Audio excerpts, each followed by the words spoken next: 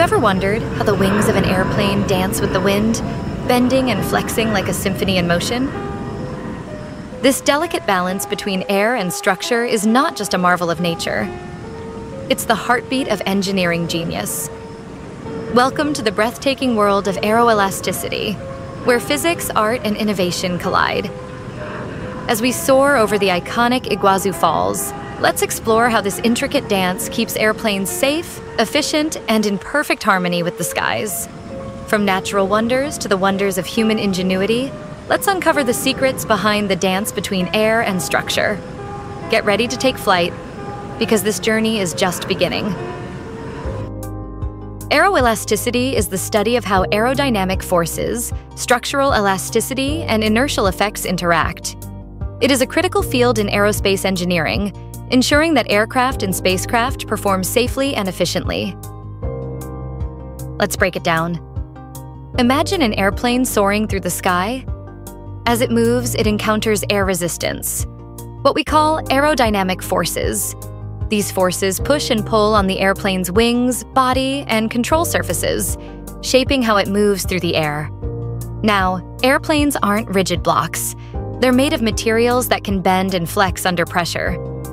This flexibility is known as structural elasticity. For example, when wind flows over a wing, the wing might bend slightly upward or twist, a completely natural response to the forces acting on it.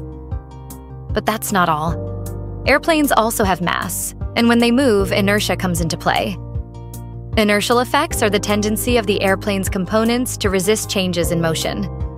Think of how a car leans when you take a sharp turn. That's inertia at work. Now, here's where it gets fascinating.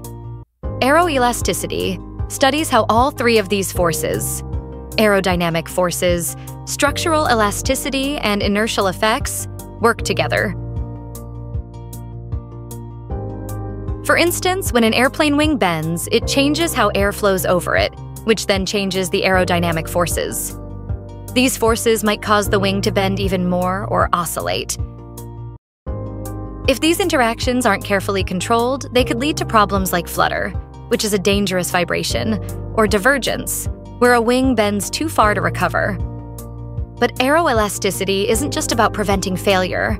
It's also about optimizing aircraft design making planes more efficient, lighter, and safer. Engineers use this understanding to ensure that airplanes, spacecraft, and even large structures like bridges perform perfectly under all kinds of conditions. Have you ever wondered how a wing bends and flexes during flight, or why some designs fail under stress? Let me give you some examples. In 1940, the Tacoma Narrows Bridge became a cautionary tale in engineering. Known as Galloping Gertie, it twisted violently in the wind and collapsed due to a phenomenon called aeroelastic flutter. Though it wasn't an airplane, the principles of flutter, an unstable interaction between aerodynamic forces and structural elasticity, became a critical lesson for aviation engineers worldwide. The Boeing 787 redefined resilience in aircraft design. Engineers pushed its composite material wings to their breaking point, bending them over 150% of their maximum stress capacity. This controlled failure proved the strength and flexibility of composite materials, ensuring stability and safety even under extreme aerodynamic forces. The de Havilland Comet, the world's first commercial jetliner, suffered a series of catastrophic failures in the 1950s.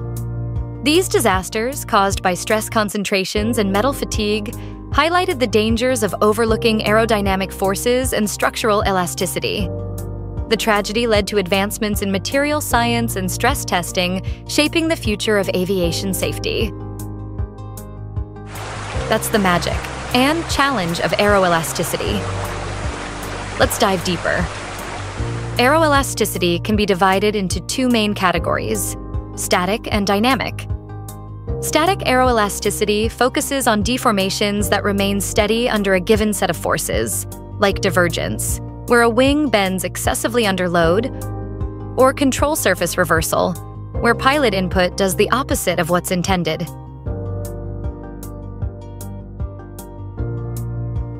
Dynamic aeroelasticity, on the other hand, deals with oscillations.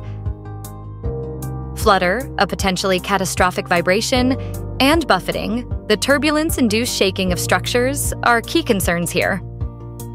Aeroelasticity is influenced by several factors. Structural properties like material stiffness and the shape of the aircraft play a significant role. Aerodynamic forces such as lift and drag also interact with these structures. Finally, inertial effects.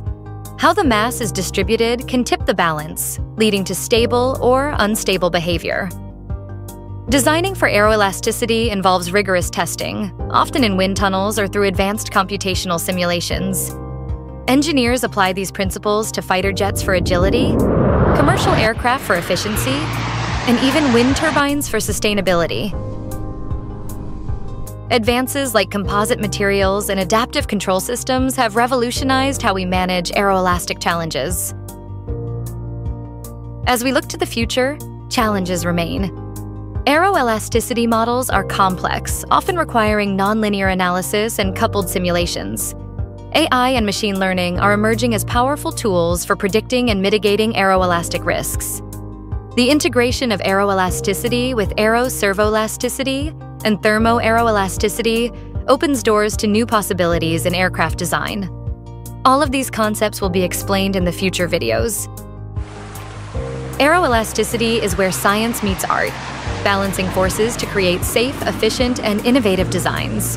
Whether you're an engineer, student, or enthusiast, understanding aeroelasticity is essential for shaping the future of aerospace. Stay curious and keep exploring. Together, we can keep exploring, learning, and soaring to new heights. Until next time, fly safe and dream big.